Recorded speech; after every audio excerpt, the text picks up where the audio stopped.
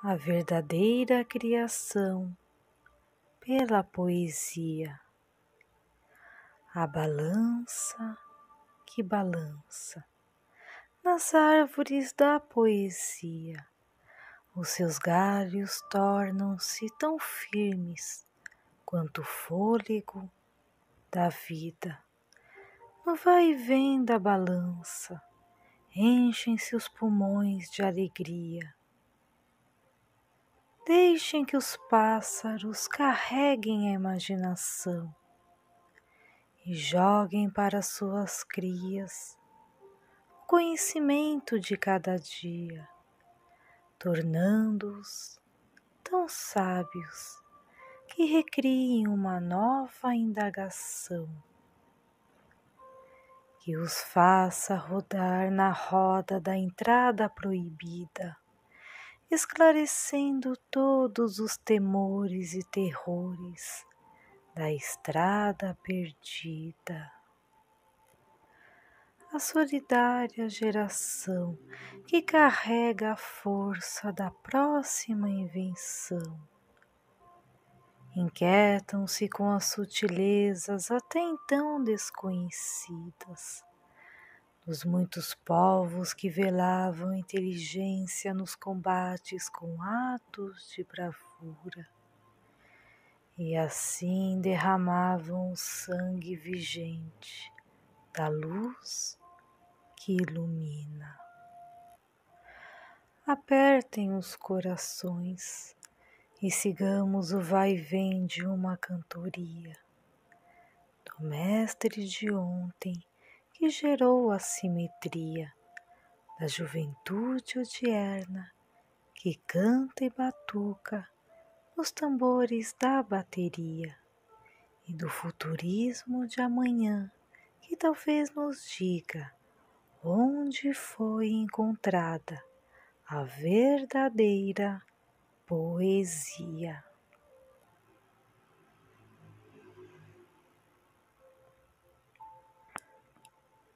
Pomba branca. Ontem o céu fez-se preto e esteve a voar uma linda pomba branca. Em íntimo ser nasceu meu pranto, em coração partido verteu minha bronca, e eu pasmadamente olhava um lindo quadro vivo da natureza. Estava tão aflita que me pus a chorar, mas observando atentamente aquela beldade no céu, fez-me calma. Toda aquela dor que estava a devorar-me. Resolvi não mais lembrar a pureza daquela pomba rutilou e refletiu em minha alma. Tentei procurar em meu coração a emoção desta cena tão perfeita. Em gesto grosseiro e rude, mostrou-me apenas uma inquestionável desfeita. Ó oh, falso coração que nasceu erroneamente nesta alma tão sofrida, resolveu fazer jus de indignação à minha pessoa humana. Em todos estes anos laboriosos, fez-me tão desapercebida, em vasta emoção interpelada pela razão, em uma só noite, em um só dia, em terror num deserto, em cantar e jubilar numa gloriosa savana africana. Chorei por mim e por ti, ó coração desarrazoado, porque quiseste por fim em mim e dar-se por tudo acabado? Pomba branca da noite, pomba da fonte do amor, já que tu estás a voar e arrumar sem direção, venha depressa, por favor, e entre em meu coração. Faça-o tornar-se um só, faça-o tornar-se um coração unificador para esquecer-se desta dor. Diga a ele que a felicidade da pura comoção e o olhar da razão está somente nos olhos de quem tem um lindo e grande coração. Vida prazerosa. Gosto do sol, porque em seu abraço reluzente sou aquecida. Gosto da lua, porque em sua fase de cada dia saio pra rua e me desnudo em folia. Gosto da despedida do beijo doce de meu bem quando as muitas fumaças que em nossas faces acinzentadas de tristeza esvoaçam, eu perdidamente, em pranto e lamúria, vejo-te acenar na linha do trem. Como é bom sentir-se do amor, refém. Peço a minha vida me ouça com alegria, fazendo de mim sua certeza, gastando toda a sua beleza com esta minha franqueza. O único sentido de amar tanto esta vida, ao qual esqueço-me de tudo e fico apreciá-la somente na languidez e na moleza. Hora do almoço.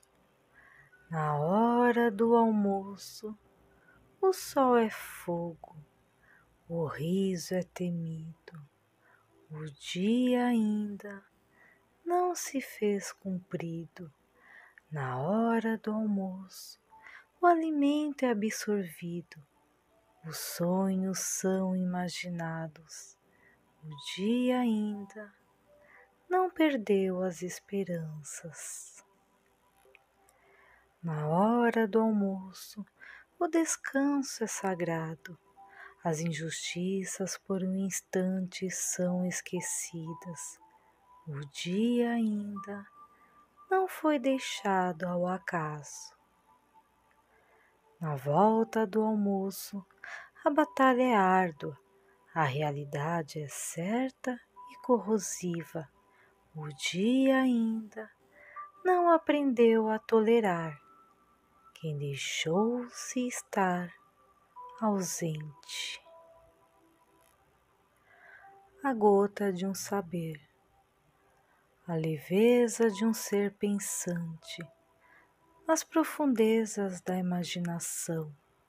São detalhes que nos perturbam para aquele que supõe estar com a razão. Quando a sabedoria nos rodeia e o raciocínio começa a trabalhar, a natureza não nos permite acreditar onde um dia poderíamos chegar. O infinito saber de tudo aquilo que há, se existe algo que se possa crer, apenas uma gota há de nos dizer. Então, se percebemos que nada sabemos, saudemos o desconhecido e torne-se este um oceano de mistérios. E se caso um dia for nos revelado que todos nós sejamos abundantemente gotejados por tudo aquilo que há de mais precioso nas profundezas do saber de um oceano. Lençóis d'água, a terra que nos aquece, a luz de velas, vela-nos sobre misérias. Escuta-se o canto tremido debaixo da terra, o assombroso percurso das águas agitadas. Lençóis de água que invertem nosso caminho, guia-nos sobre outros moinhos, interferem na nossa calmaria e a todas as meninas dá-se o nome de Maria. Estes lençóis que não nos cobre de alegria, escondem-se de todos em harmonia. Precisam ser achados com urgência para não precisarmos de clemência. Vede as rugas em nossas mãos, são mãos que nunca se põem à aflição, escavam buracos na terra sem perdão. Esses lençóis de água que em nosso coração só provocam ingratidão. Seguirei meu caminho, vou andar pela estrada da vida e da morte, entrar pelas portas dos castelos não descobertos, entoar canções que perpetuam a tornar-se plangente, e entrar pelas florestas que fazem despir-me os meus mantos. Vou girar em rodas vivas e tornar-me ardente. Cancelarei todos os dias pueris dos meus juramentos. Andarei motivada pelos meus lábios em fio escarlate. Hei de correr sobre as plataformas e fazer-me sem méritos. Vou tatear os sonhos da minha mente, os jogarei em covas abertas de lutas e prantos. Praticarei as minhas andanças febris como um vire potente. Estarei a contar metodicamente os meus contos Seguirei meu caminho em face indolente, pousarei sobre as corjas que estiverem meus campos, obstruirei todos os obstáculos que estiverem à minha frente, e ao final não hei de esquecer-me dos meus desencantos errantes, e para com eles tornar-me clemente lembranças. Estive a descer em meu jardim e as recordações não vieram no momento. Foram surgindo aos poucos em cada lágrima de meu pranto e todas dispersas em meu pensamento. Cheguei a pensar que não teriam mais fim Solucei a cada lembrança que lembrei, balbuciei a cada instante que relutei. Quando tínhamos tudo para estarmos juntos, eu nem ao menos tentei. As lágrimas doídas que escorrem meu rosto tão sofrido, são lágrimas que borbulham amores escondidos e nunca assumidos. Num canto às escuras, em meu jardim, sinto as saudades mais remotas, quando em muitos enganos e aventuras corroíam dentro de mim. E eu, sem hesitar, entregava meu coração à pessoa que eu tanto amava, fosse ela boa ou ruim. Este mesmo coração de há muito, tão fraco e tão desapercebido, não passa de um coração que aos poucos deixa ser devorado por traças e cupins. Alegria de verão. Sejamos sempre um eterno aprendiz, cantando continuamente uma canção e a cada momento sentir-nos vitoriosos por fazer-nos feliz. Cantem os pássaros sobre minhas melodias, corram os ventos no céu da minha boca, levantem os cabelos em aplausos, ressuscitem os amores enterrados. Levem-me as borboletas em suas asas, flutuem ao meu redor as pétalas coloridas.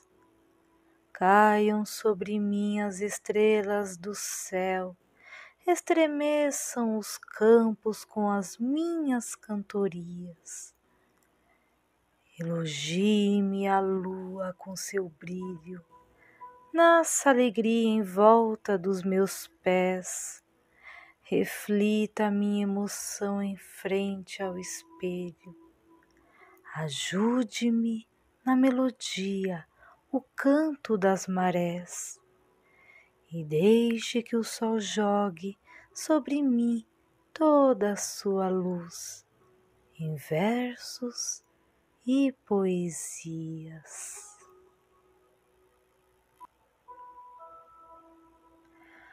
A força dos guerreiros, guerreiros que guerreiam em volta do meu universo. São guerreiros distantes do meu interno mistério, os sem nome ferozes que não me permitem sucesso. Estes guerreiros que chamarei por répteis se arrastam no tablado do meu coração, incapazes de se infiltrarem e roubar-me a razão, petulantes fantasmas que não mostram a cara, imitadores perversos de guerreiros sem alma, engajados numa jaula engradada, destituídos de cumprir sua ordem, torturam-me impetuosamente, perdendo a calma guerreiros que guerreiam contra minha pessoa, não admitindo serem derrotados, continuam a perturbar-me com suas epistemologias e desapercebem-se que a vitória será minha. Terra terra de todos os tempos, onde estão os teus ventos que nos fazem prisioneiros deste lugar sem festejos? Não te tornes nosso tormento, faça com que teu vento nos leve para outro canto, para que te deixemos sem medo e alguns de teus filhos reconheça que agiram para contigo com desrespeito. Cessa esta fúria que tu guardas no peito, deixe que estes filhos sem jeito procurem teu seio e dentro de teu seio querido um esconderijo perfeito. Ó oh, tu que guardas este segredo, esconde-o até seu último suspiro. Quando teus filhos perversos verem que teu sorriso já sumiu, todos também morrerão às margens secas dos teus rios.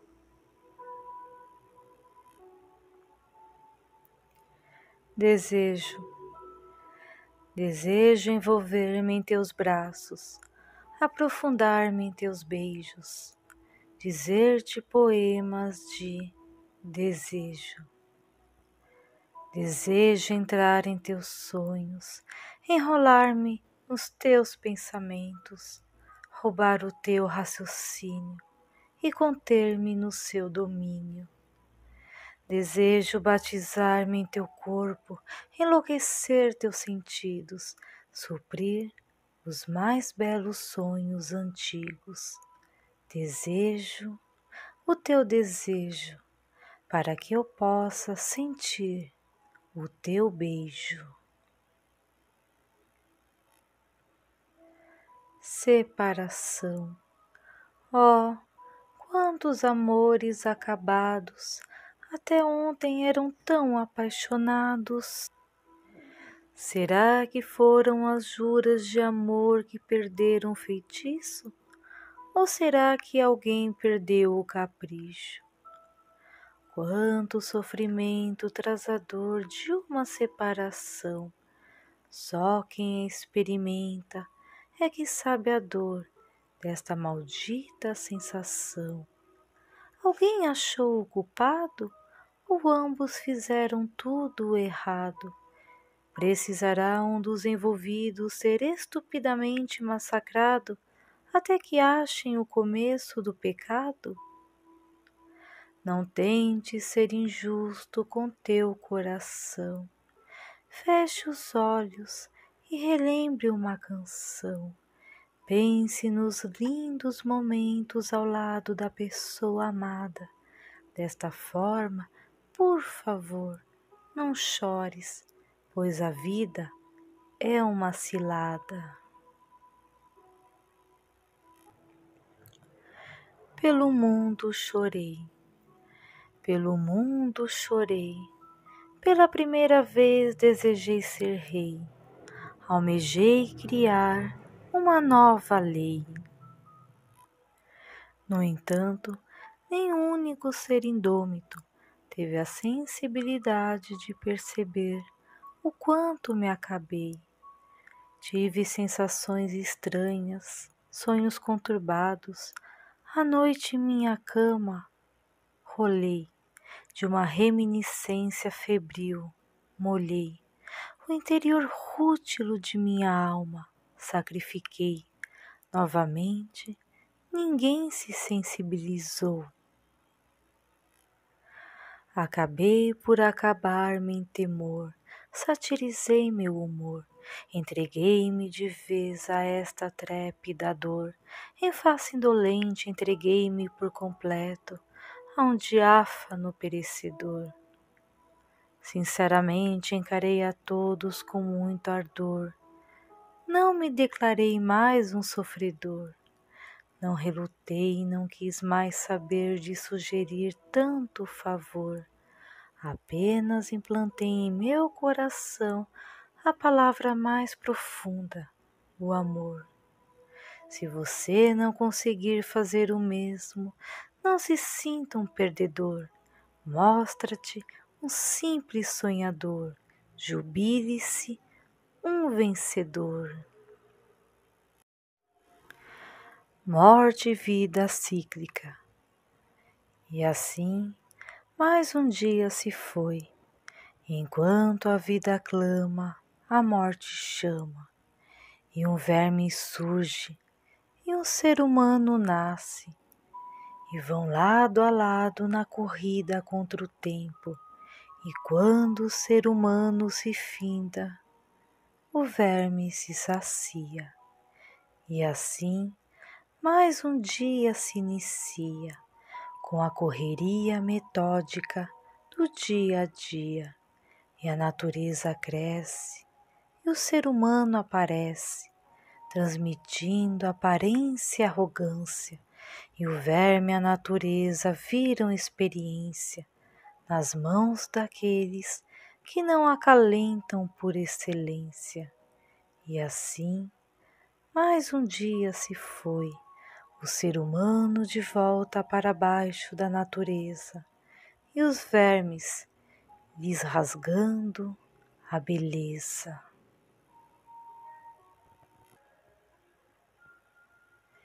Inquietações.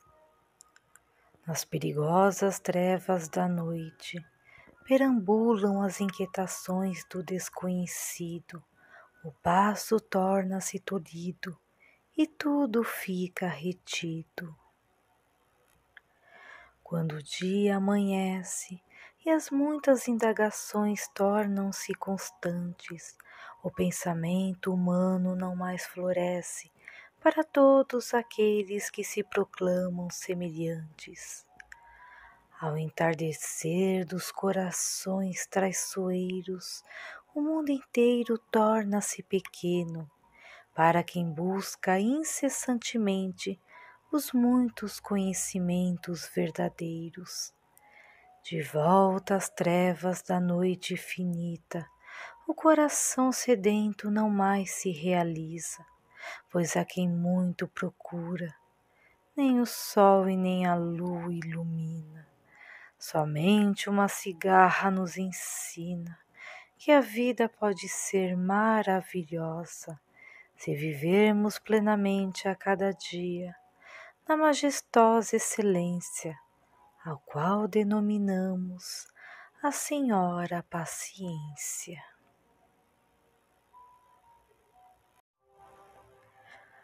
Asinha colorida. Antes de eu completar um aninho de vida, minha mamãe me disse: Ande logo, menina. Mas o que ela não sabia é que eu estava esperando nascer minhas asinhas coloridas, para assim poder voar e correr em mil e uma companhia. A única bexiga. Deram-me um susto, estouraram uma bexiga. Aqui tinha uma mescla de cores coloridas, e de tão triste que fiquei preferi não mais sorrir para ninguém, pois aquela era única e comigo estava.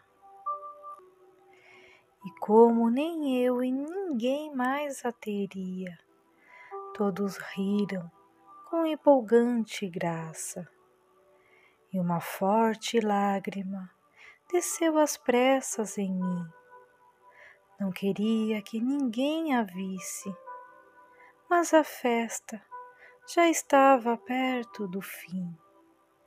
Inconsolável do jeito que eu estava, não perderam a oportunidade de vê-la cair.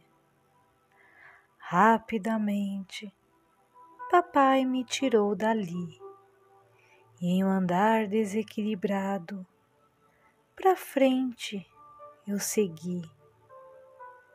Logo eu senti uma cachoeira de lágrimas empurrar a barreira dos meus olhos, que não conseguia entender porque o mundo é assim destruir nossos sonhos e não terem dó e nem piedade.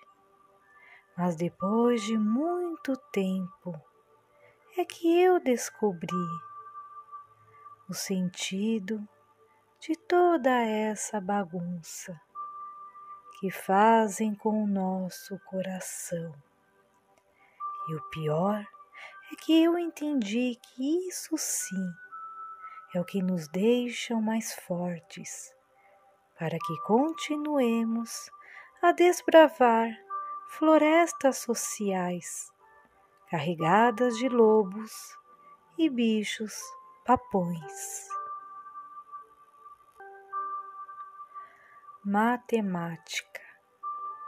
Se eu contar um, dois, três, logo te passarei a vez, mas não ficará só nisso, não.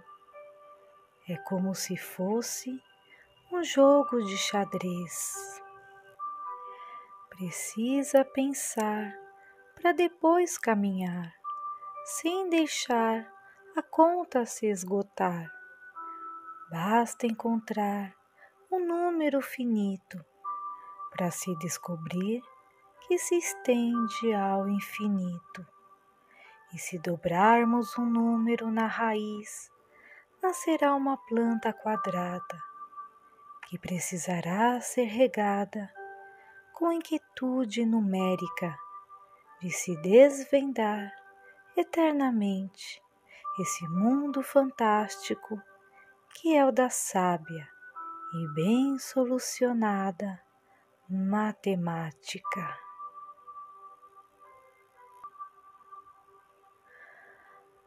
A docência com carinho. Ó oh, queridos professores, como poderemos expressar toda a nossa gratidão? Se hoje perguntarmos a todos vocês, caso pudessem voltar ao tempo, estariam dispostos a escolherem esta mesma profissão? Creio eu que, sem titubearem, a resposta viria com uníssono. Sim, pois bem sabemos que o árduo trabalho dispensado a nós não foi em vão, e é bem sabido que o caminho percorrido foi longo e carregado de infinitas incertezas, que por muitas vezes o deixaram em profundo desânimo, ao duvidarem se realmente o esforço pleno e sofrível valia a pena. E se fizermos um pequeno esforço de memória, não demorará para que as reminiscências infantis nos leve lá para o tempo dos professores do jardim, onde começamos a ser ensinados sobre a força das múltiplas aprendizagens e com quase que sobrenatural paciência. Fez com que iniciássemos a infinita construção do nosso eu em um gigantesco carrossel do conhecimento. E assim fomos passando pelos muitos e diferentes mestres cada um ao seu jeito, com suas criativas e fascinantes formas de ensinar. E hoje podemos confessar que não fomos fãs de todos, mas todos nos trouxeram algo a acrescentar. Em nossa memória, para sempre vão estar e morar porque como poderemos nos esquecer daqueles que foram responsáveis por principiarem o nosso ABC? E com isso descobrirmos um mundo que só nos fez crescer? Que honra é ser professor, saber que contribuíram, contribuem e sempre contribuirão para o engrandecimento de uma poderosa nação. E não há gratidão maior que sejamos capazes de lhes oferecer, somente se o reverenciarmos com o nosso muitíssimo obrigado. Que em nome de todos os nossos mestres, são vocês queridos professores que recebem hoje de coração esta nossa humilde homenagem.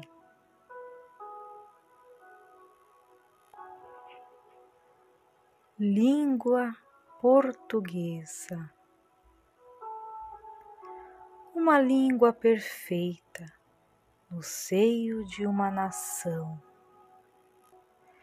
que ainda precisa ser compreendida. São muitas as palavras que sapateiam no tablado das inquietações, e clamam estridentemente por mais respeito.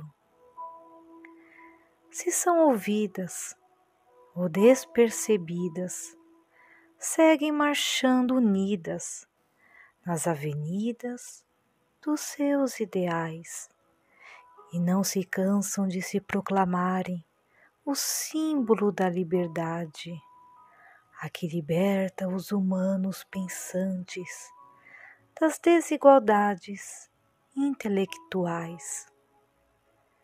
São ativas em dar voz a quem quiser delas se aproveitar.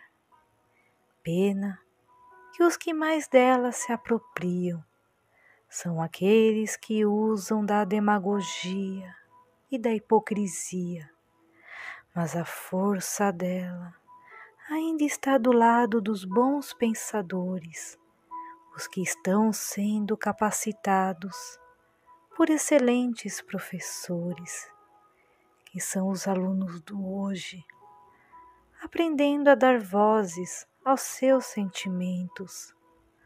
Assim, vão exteriorizando com cada palavra a enaltecerem nossa pátria amada. E vão a cada dia construindo sua confiança, estruturados na mais nobre sapiência, na nossa língua materna, culta e bela, a nobilíssima, democrática e eterna, a nossa queridíssima e amabilíssima língua portuguesa.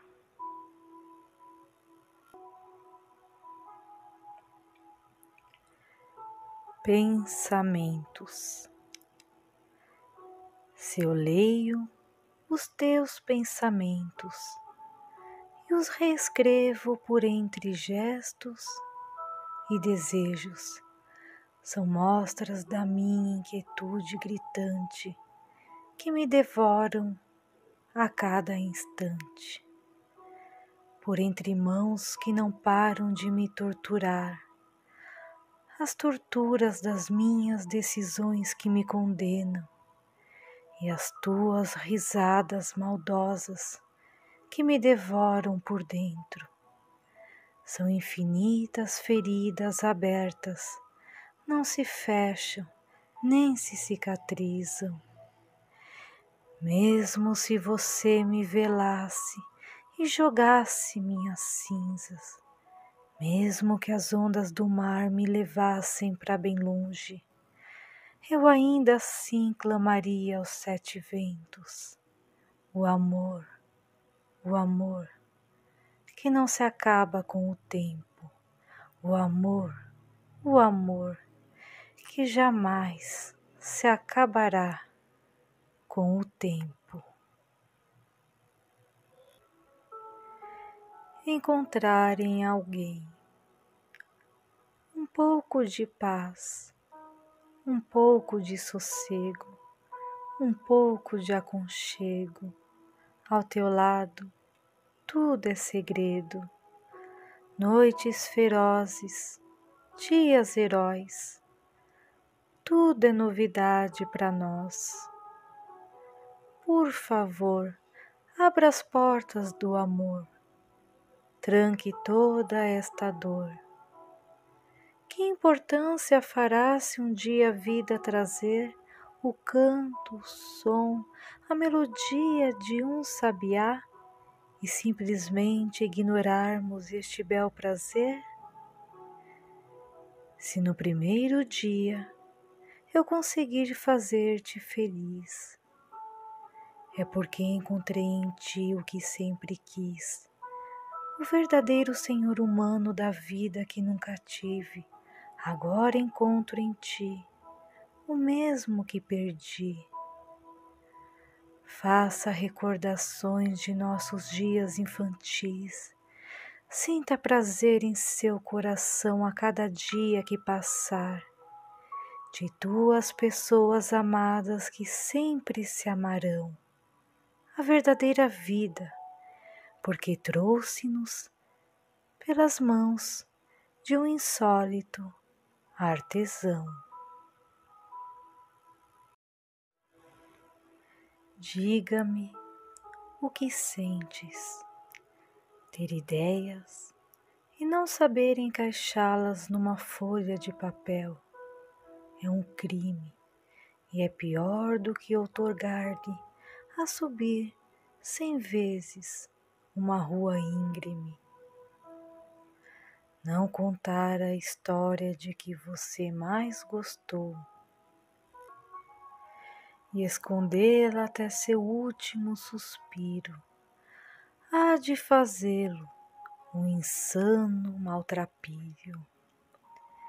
Estou para ver os teus olhos, estou para sentir os teus dedos, estou para ouvir tuas declarações, mas até agora você não soube me transmitir tuas emoções. Aqui estarei a te esperar quando decidir saber interpretar alguns gestos e poucas seduções de muitos corações com grandes dívidas a sanar e muitas palavras doces a declarar, e então para sempre eu vou te amar. Moça ingênua, guardo meu beijo a sete chaves, oculto, procuro afastar-me. Não se constroem altares, mas sem querer me dizem saudades. Percorro meus olhos em volta da cidade. Por alguns instantes esqueço a minha maldade, trazendo de volta um triste recomeço, desleixo. Volto pelas lembranças escondidas. De repente, maravilha quem diria um dia encontrar uma moça ingênua sem fronteiras, onde encontra em tudo alegria. Mas para os observadores, moça faceira. A todos os poetas. Afasto-me de todos sem demora. Clamo, choram, perambulam, gemem. A verdade não lhes escapa. Agora gritam para que alguém os ajude, manipulam sentimentos, sátiras, mentiras, ódio, amor. Tudo dificulta, culminante, imploram para que os perdoe, mas não vejo autonomia estonteante. Prevalece a verdade, maldade. Haveria a possibilidade de nunca mais vê-los, mas a força de poder querer lê-los faz com que a sensibilidade, desejo, fizesse deles anseio a todos os poetas da minha vida, que tanto almejo e que com eles a cada dia aprendo mais um pouco. E em cada fase vivida, sempre um recomeço, com muitos festejos e lamentos.